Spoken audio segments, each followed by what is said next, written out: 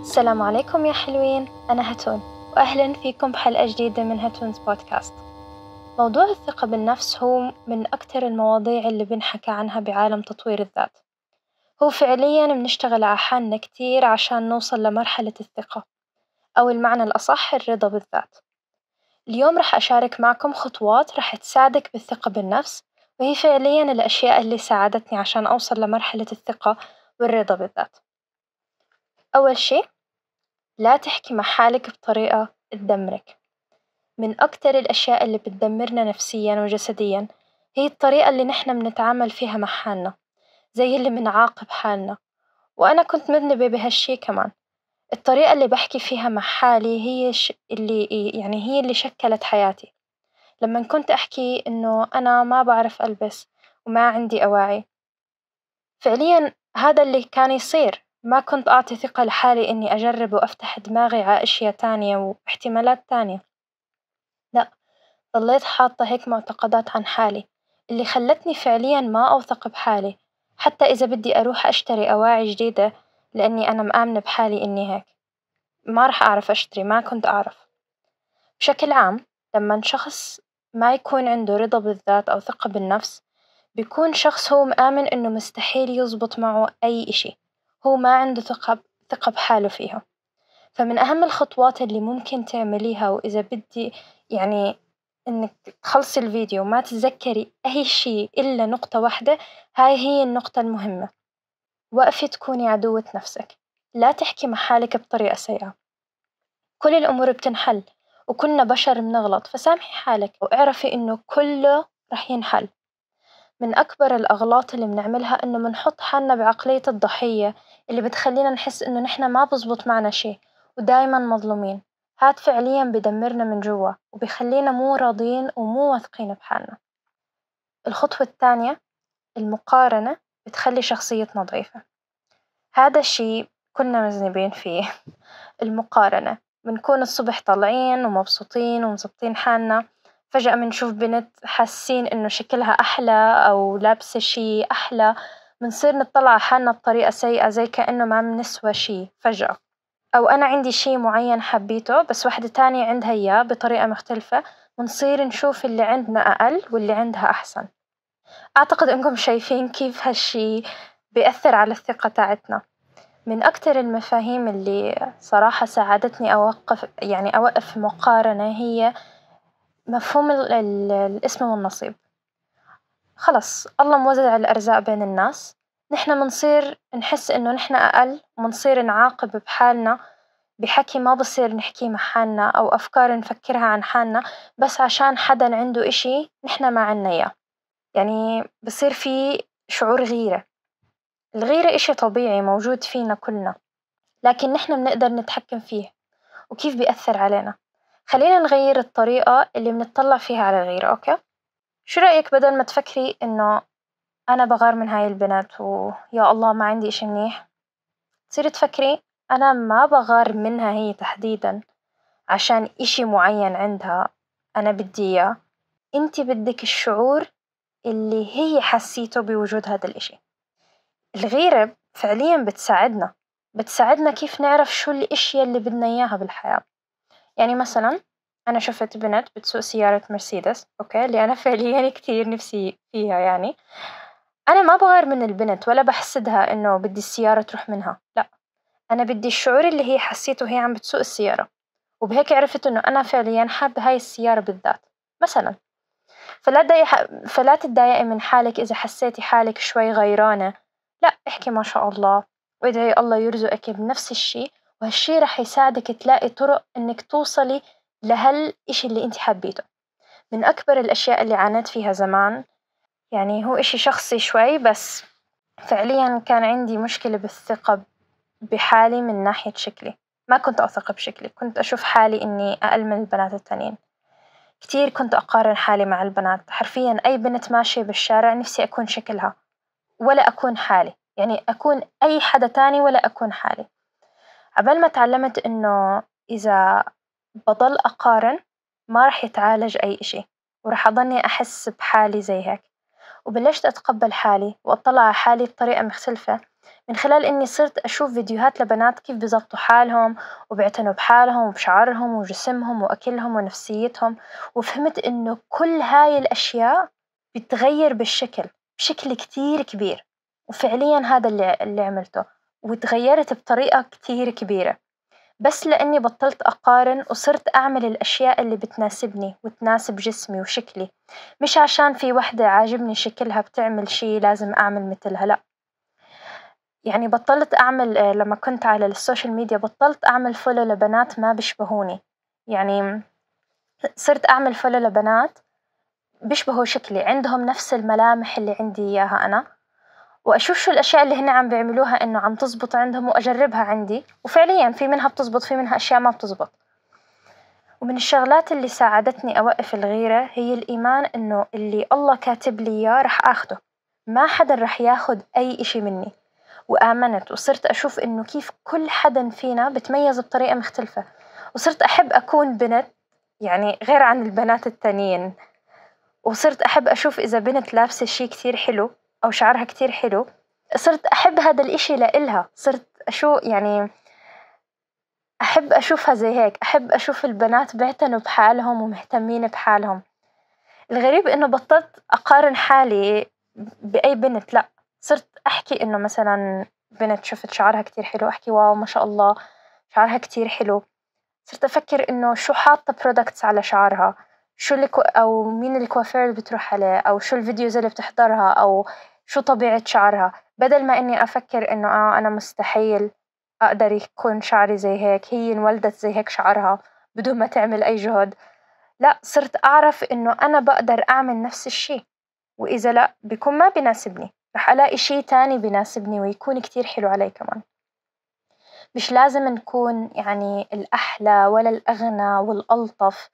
يعني الأحسن هاد لأ كلنا بنتميز باختلافنا كل حدا فينا في إشي مختلف بيميزه ما حدا رح يقدر ياخده منك مستحيل لأنه اللي الله كاتبه إلك رح تاخديه إنتي، تالت شي تعلمي مهارة جديدة وكوني منفتحة على التجارب الجديدة، إنه نتعلم شي جديد هذا الشي رح يساعدنا نتطور ونحس بشعور قوة إنه أنا عم بتعلم شي جديد عم بعمل إشي غير ومختلف بحياتي، فعليا إنه نتحدى حالنا نعمل شي جديد. مثلا أتعلم كيف أطبخ. هذا الشي رح يعطيكي ثقة بحالك إنك بتعرفي تطبخي. أو تتعلمي كيف تنسقي ألوان أواعيكي مثلا. أو تتعلمي ديزاين أو رسم. أي شي إنتي حبيته رح يعطيكي ثقة بحالك، لما نتعلم شي جديد رح نصير متقبلين ومنفتحين أكتر للتغيير، بتصير حياتنا مليانة فعاليات وتجارب جديدة، لأنه عم ندفش حالنا نعمل أشيا ما عمرنا توقعنا نقدر نعملها من قبل، وهاد لحاله بيولد ثقة وشعور بالرضا، كتير شعور حلو خصوصا لما تصيري تتعلمي أشياء جديدة وتتعرفي على ناس أو تصيري تنتبهي عالناس اللي حواليكي عم بتعلموا أشياء جديدة بتصيري تقدريها أكتر، بتبطلي تصيري تحسي إنه لأ أنا لازم كمان يصير يكون عندي نفس الإشي. لأ بتصيري تقدري إنه هن عم بتعلموا هذا الإشي لحالهم، إنه كيف هن مهتمين بهذا الإشي اللي إنتي فعليا مو مهتمة فيه، بس كتير غريب إنه هن مهتمين فيه وحاطين كل هذا الوقت فيه كل وقتهم فيه عشان هن حابينه، بتصيري تحبي قوتهم وتاخدي قوة من عندهم وهن كمان ياخدوا قوة من عندك، أنا من الناس اللي تعلمت أطبخ وأخبز وتعلمت الفوتوغرافي الموشن جرافيكس الإديتنج الفيلم ميكينج، صحيح في منهم أشياء كانت جزء من مجال دراستي بالجامعة، بس أنا حاولت أتعلم أكتر من اللي أنا أخدته بالجامعة، وهالشي خلاني أتميز وأعطاني شعور بالثقة، رابع شي اهتمي بمظهرك الخارجي، هاي من أهم النقاط اللي حكيت عنها من قبل، إنك تهتمي بمظهرك الخارجي خصوصا عشان نفسك راح يعطيكي ثقة رهيبة بحالك، لإنه ما بدنا نكذب ع بعض المظهر الخارجي أكيد مهم. ومش إنه أكون بيرفكت وأحلى حدا لأ مش هاي الفكرة، النظافة الشخصية الأواعي النظيفة البشرة المهتمة فيها كلها هاي أشياء بتعطيكي شعور برضا عن حالك، بتصيري قادرة إنك يعني تحكي مع الناس أكتر، ومش بس كمان لما نطلع أو يكون في ناس جايين عنا لأ كل يوم كل يوم اهتمي بحالك حتى وإنتي بالبيت البسي الأشيا اللي إنتي حبيتها واللي حاسة إنك حابة تلبسيها، وظبطي حالك وحطي ميك اب إذا إنتي حابة، يعني أنا مثلا هلأ بالبيت قاعدة اليوم ما راح أطلع من البيت لابسة جينز ومظبطة حالي زي كأني طالعة بس يعني لأ عادي. أنا هيك دايما متعودة، وخصيصا لما انتي تكوني بنت محجبة أنا متحجبة الحمد لله. الأشياء اللي بلبسها بالبيت غير عن الأشياء اللي بلبسها برا، يعني أنا برا مثلا ما بلبس جينز إنه ضيق أو إشي زي هيك، بطلت أحس حالي إني أقل من البنات خصوصا كمتحجبة لإني بلبس هاي الأشياء بالبيت، يعني مو حارمة حالي منها مش لإني متحجبة لازم دايما لما أشتري أواعي بس أشتري أواعي طالعة لأ. عادي بتقدري تشتري الأواعي اللي انتي فعليا حابة إنك تلبسيها، لإنه يعني مش عن جد مش لازم تكوني مرتبة وظابطة بس لما تطلعي لإنه انتي ما بتعرضي حالك لأي حدًا نهائيًا. انتي يعني مش مش هذا الهدف سواء كنتي متحجبة أو لأ، فقط مجرد لمن تلتزمي بروتين صباحي ومسائي من ناحية العناية بالذات هاد هاد لحاله راح يعطيكي شعور بالسكينة والهدوء والثقة بالنفس، راح تصيري عارفة حالك وحابة الأشياء اللي انتي بتعمليها، واحكولي بال comments إذا حابين أشارككم كيف ممكن تبلشوا بروتين معين وتلتزموا فيه، خامس شي تقبلي المدح. من الأشياء اللي غلط نحنا بنعملها إنه إذا حدا حكالنا آه شكلك كتير حلو اليوم. دغري بنجاوب إنه وإنتي كمان؟ أو آه جهزت حالي بسرعة اليوم ما كنت كثير مركزة بشكلي. أو لأ شكلي بالمرة مو ظابط مو طالع حلو. شعري بالمرة ما عرفت ألف حجاب اليوم. يعني هاي من الأشياء اللي نحنا للأسف بنحكيها لما حدا يعطينا مدح لإنه لو بتفكري فيها يعني حدا مدح إشي فيكي. ونحنا شو بصير؟ دغري بنرد المدح أو بنحكي لأ نحنا مش هيك. نرجع للنقطة الأولى اللي حكينا عنها تدمير الذات. ما عم نتقبله لأ جربي إنك إذا حدا مدحك بأي إشي المرة الجاي. جربي إنك تسكتي شوي تبتسمي تحكي. شكرا. نقطة. بس. بعرف حيكون إشي مش مريح. يمكن يمكن يعني. بس شوفي كيف راح تحسي بعدين. يعني أنا أول مرة جربتها. حسيت بشعور إنه لأ حاسة حالي شوي إنه مش منيحة إنه لأ لازم أرد وأحكي إنه أنتي كمان أو أحكي إنه لأ شكلي مش حلو أو إشي زي هيك. لأ. اقعدي بالديسكمفورت اقعدي بعدم الارتياح بس صدقيني راح يساعدك هذا الإشي بثقتك بنفسك لقدام كتير لأنه بتصيري تتقبلي المدح تصيري تحكي آه فعليا أنا هيك.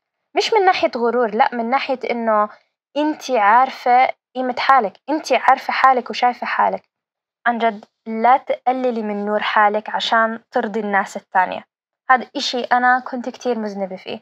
لا تقللي من نور حالك عشان ترضي الناس التانية لا تقللي من حالك والروعة الأوسمنس اللي أنت فيها. وبس احكي شكرا. تقبلي المدح. وانتي نفسك امدحي حالك. جسمك بيحتاج هذا الإشي. يعني نحنا نحنا كبشر بنحتاج هذا الإشي. عشان هيك ما بنرضى بحالنا وبنوثق بحالنا لأنه ما بنحكي لحالنا الأشياء اللي نحنا بنحتاج نسمعها. زي اللي بنستنى أي حدا تاني يحكي لنا إياها. وبنزعل إذا ما حدا حكى لنا إياها. صدقيني لما تصيري تتقبلي المدح وخلص تسكتي مش ب... ما بحكي إنك مثلا ما تمدحي الناس التانية لا إنه امدحيها إذا انت حاسة إنه فعليا آه انت حابة شكلها اليوم بس جربي المرة الجاي إنك تفكري بحالك بس وإحكي شكرا. يعني نحن للأسف لأنه ما ما بنحكي هاي الأشياء لحالنا بنصير نطلبها من من ناس تانيين. فبنصير حرفيا نعمل أي إشي أشياء لا إرادية بس عشان ناخد المدح. والمشكلة لما ناخده بنصير نرده. فهذا هاي مشكلة هاي زي لوب زي دائرة هيك حلقة عم نضلنا نلف فيها لازم نكسرها.